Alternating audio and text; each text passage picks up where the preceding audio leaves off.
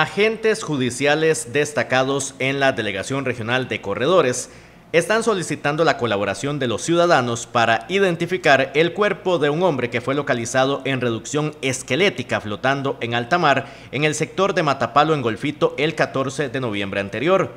En el momento, el cuerpo vestía una camisa blanca con flores rojas y una pantaloneta negra y tenía los siguientes tatuajes.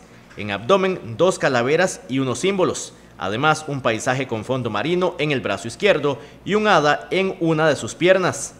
Es de piel morena de contextura gruesa, cabello corto negro.